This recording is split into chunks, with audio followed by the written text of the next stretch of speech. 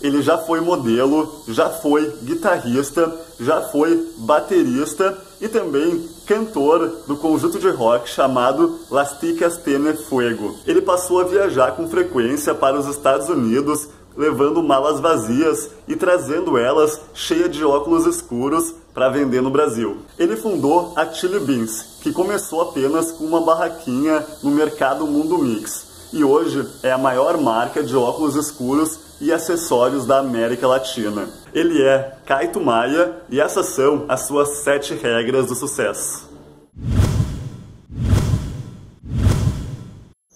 Olá, aqui é o Rafael Yant e no vídeo de hoje você vai conhecer a história do Kaito Maia, que é o criador da Chili Beans, que é a maior rede de óculos escuros do Brasil e ele está expandindo isso mundo afora. Então vem comigo para a gente ver junto quais foram as sete regras do sucesso de Kaito Maia. É engraçado que você falou assim, começou do, do nada, do menos nada. Menos nada. A conta tá negativa, a gente tem que falar menos nada, né?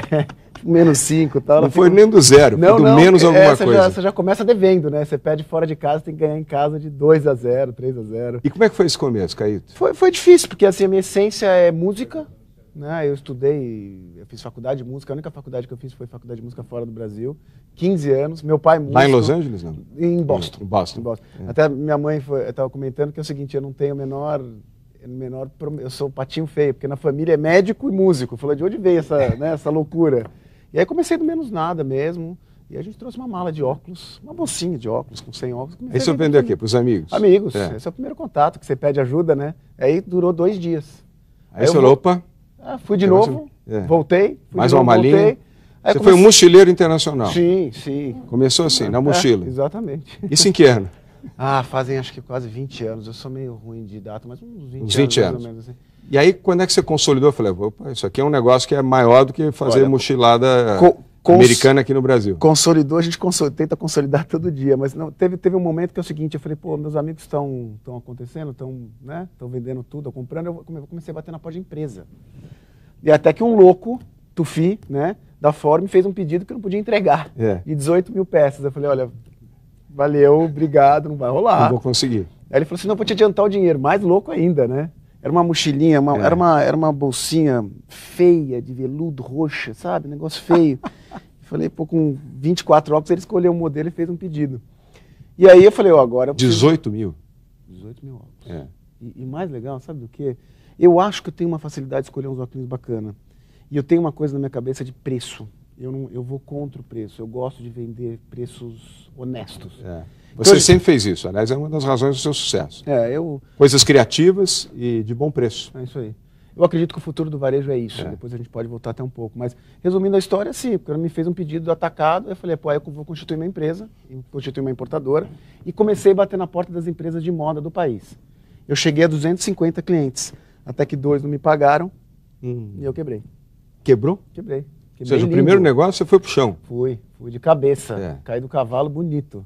Isso e, o quê? Dois anos depois, mais ou menos? É, uns três anos é. depois. O que acontece é o seguinte, eu acho que a vida vai te, vai te ensinando, né, as coisas, assim. Então, tipo assim, pô, olha, por que, que eu quebrei? Porque minha margem é pequena, porque eu vendo no atacado.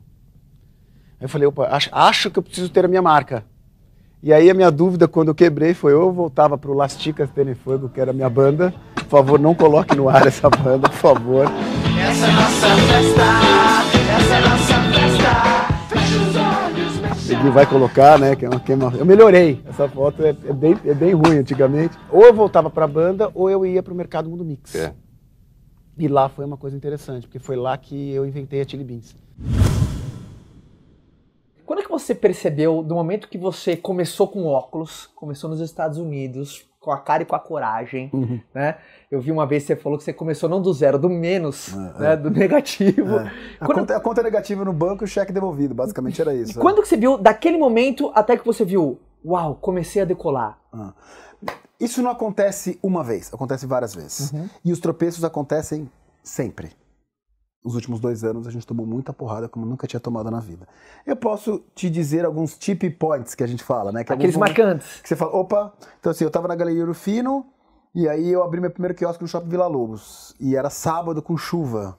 Das 10 da manhã às 10 horas da noite, cara, vendeu até quase o quiosque foi embora. Então eu falei, opa, peraí. Esse momento é um momento especial. Porque eu percebi que eu tinha um produto diferenciado no mercado, que as pessoas, o consumidor brasileiro tinha curtido horrores e que, e que a venda foi excepcional. Então aquilo para mim foi um momento marcante. Quando eu cheguei no quiosque, porque eu cuidava, eu tinha duas lojas na época, né? Galeria Fino e, e o coisa. E, e não dava para ver o quiosque. É, sabe aquela parada Sei, de, de sei, mel, sei, assim, as abelhas todas voando em volta, assim? Falei, opa! Então foi um momento marcante e interessante. Outro momento marcante e interessante foi quando eu tinha muito quiosque já, mas me forçaram, não tão educadamente, ir pra loja. E eu falei, putz, agora eu vou ver se eu sou de verdade mesmo, porque quiosque é bomba, a gente tem até hoje. Aham. Mas o fato é, quando você vai pra loja, você mostra que você tem vida longa. E quando a gente foi pra loja, a gente triplicou o faturamento. E gerou credibilidade, porque a galera no quiosque falava assim, amanhã você não vai estar aqui, né? Vai sumir, né? Então, assim, tipo, esse foi outro momento interessante. Quando eu mantive o quiosque, mas eu fui pra uma loja e isso falou, opa, peraí. Tem um franqueado meu, ele... Porque a gente tem muitas histórias especiais aqui dentro. Então, por exemplo, eu tenho um franqueado meu que ele tem todas as lojas do Guarujá, todas as lojas do Santos e tem todas as lojas do Aeroporto Internacional de Guarulhos.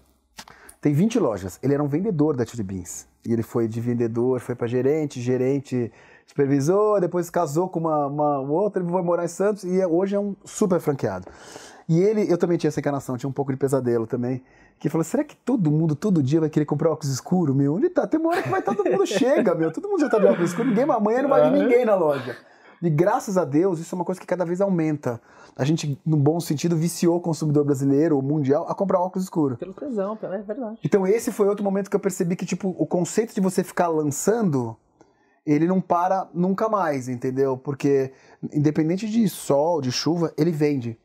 O empreendedor tem que sempre se renovar, É, é. se reinventar eu sempre. Posso, eu posso te dar vários reinventar outros, sempre. mas assim, o conceito dessas três coisas foram três momentos. O momento do quiosque, o momento da loja e o momento que a venda e o consumo, toda semana, por lançar 10 modelos novos toda semana, as pessoas vinham e não paravam, graças a Deus. Você acha que a paciência foi determinante na tua carreira, irmão? Então, sim, apesar de eu ser um cara muito impaciente, Isso. assustadoramente impaciente. Você é muito realizador. Eu vou, assim, eu né? vou te, eu vou te, eu vou, eu vou querer, eu queria te falar e essa é uma mensagem para os nossos millennials assim. Eu não sei se a palavra é paciência, mas a palavra é foco. Foco. Então você tem aqui, ó, um travesseiro, um celular e um outro travesseiro. Mano, você vai ter que escolher. Os três são demais. Você vai ter que escolher. E vai nessa. Eu fui muito, muito criticado pelas pessoas, dizendo que eu nunca ia crescer porque eu só vendia óculos escuros. Tá louco? Como que você vai crescer vendendo só óculos escuro-? E eu fiz exatamente ao contrário.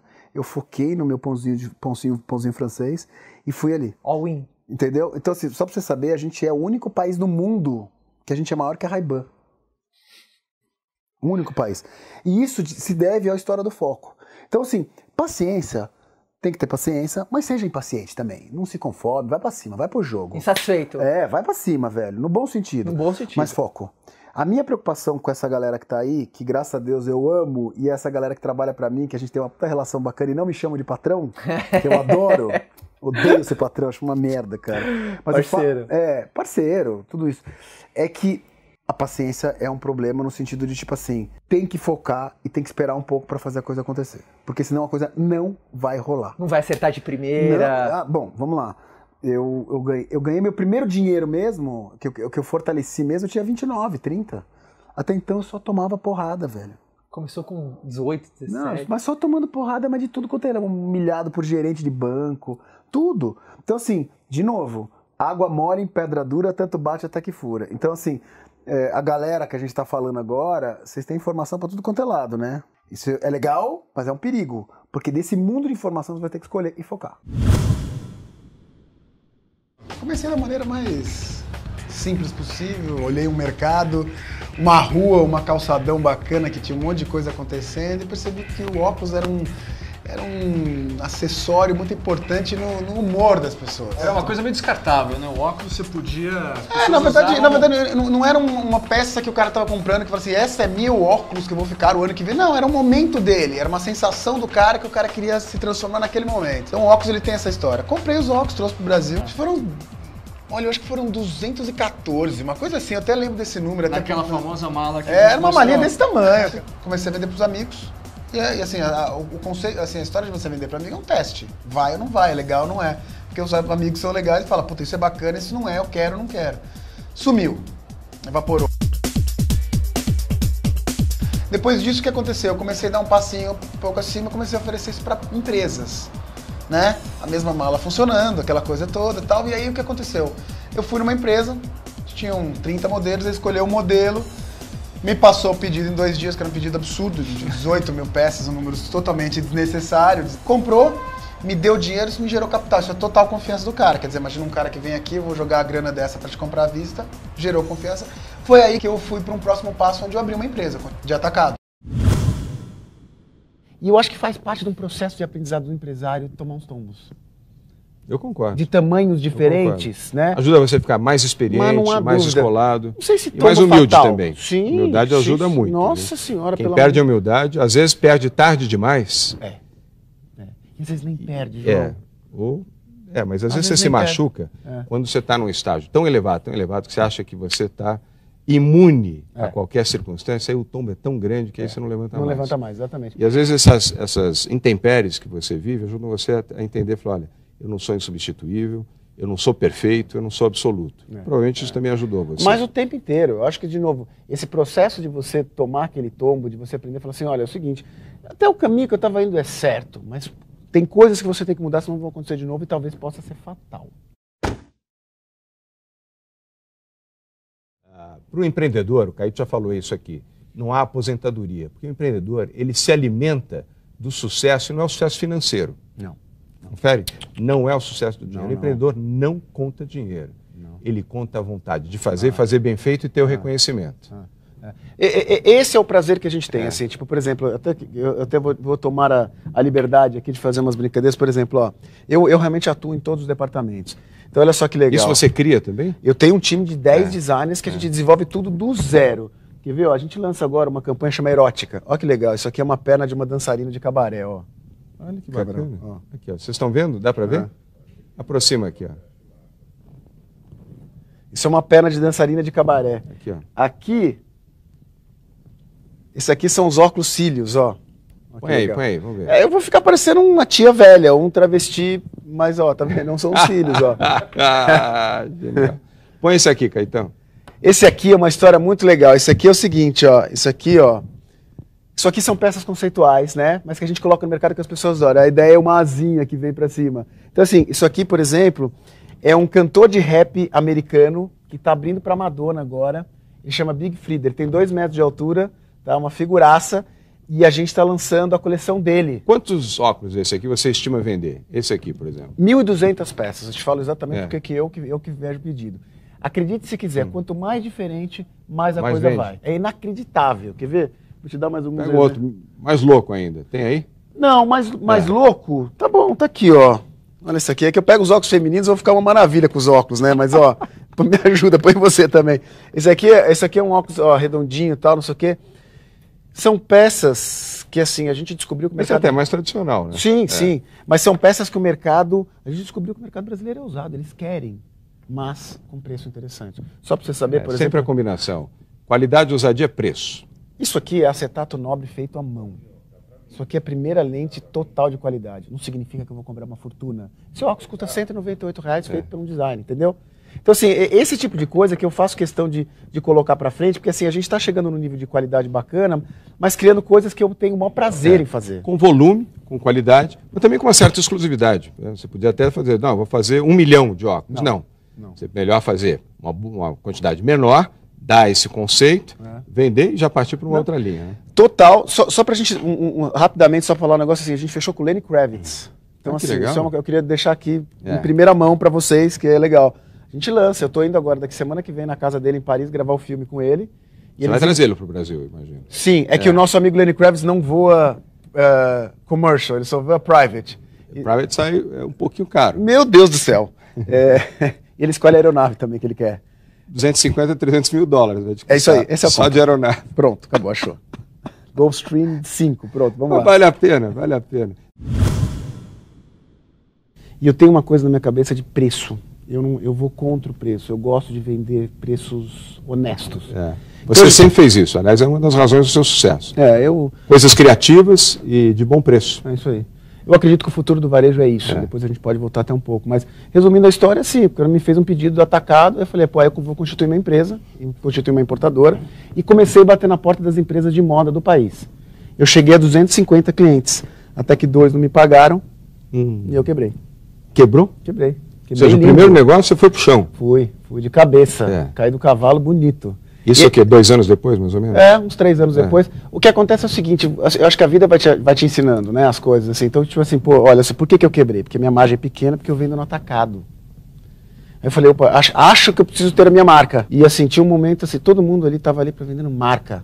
Eu falei, opa, eu preciso ter minha marca. Eu era um vendedor de óculos. E ali você estava quebrado, mas aí você reconstituiu Isso. e levou os óculos. Já tinha Chili Beans como marca? Não. Não. não. não. Era o quê? Tinha era marca nada. nem nada? Não, nada. nada. Era óculos. vendedor de é, óculos. É. E aí você começa a aprender, entendeu? Eu falo assim, pô, você tem. Eu tinha uns óculos sobra... que sobraram do meu atacado, eu falei, vou, vou bater na porta. Aí um dia eu falei, pô, preciso, preciso construir uma marca, porque todo mundo tem sua marca, né? Tipo, tinha o Sommer, tinha Será o Benedito, tinha a Mulher do Padre, umas marcas muito legais. Aí inventei o Chili Beans. Aí pintou do nada, eu sou viciado em pimenta, tenho mais de mil pimentas no mundo inteiro. Você não tem dinheiro, você não tem um tostão no bolso e você precisa estar num shopping um ponto de média 300 mil reais. Um quiosque, você simplesmente monta o seu quiosque no melhor corredor do shopping, no melhor lugar do shopping, à noite e no dia seguinte de manhã você está com a tua lojinha pronta.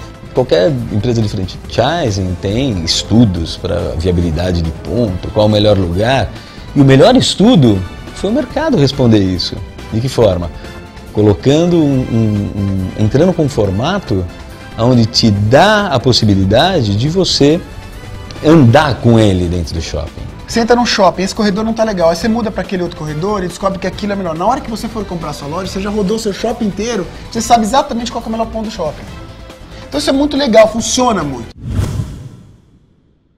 Eu morei sete anos nos Estados Unidos. Tá. tá. Foram todos, são sete anos que eu tive entre indas e vindas. Assim, eu costumo falar que a minha faculdade que eu tenho são, são três faculdades a faculdade de música, né? A faculdade da vida, que é viajar pelo sim, mundo sim. e aprender, olhar, conhecer culturas diferentes, novas experiências, né? Isso que a gente aprende. Eu acho essencial para uma pessoa. Assim. Eu acho que isso quando a gente fala de prática, eu acho que prática esse é um dos grandes lances que você, para você adquirir prática, na minha opinião, é você tem que ir lá e fazer. Tem que ir lá. Tem que ir lá lavar prato, aprender, sabe? Ter experiências diferentes, como funciona, culturas lavou muito prato? Lavei, opa, é. lavei bastante prato, garçom, derrubei bastante bandeja. É. Ganhava bastante gorjeta também? Às vezes sim, às vezes não, né?